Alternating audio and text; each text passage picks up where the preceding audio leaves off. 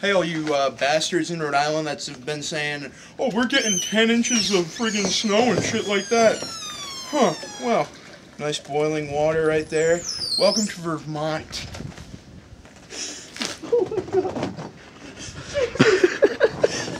Oh, let's see. Hey, I try to my I try to spill some water on someone. This is what happens in Vermont. Oh my god! Dude, don't do it on the walk. It's gonna be covered in ice. Fuck that. That's fucking awesome. Oh, you want some? One, two, three. the most.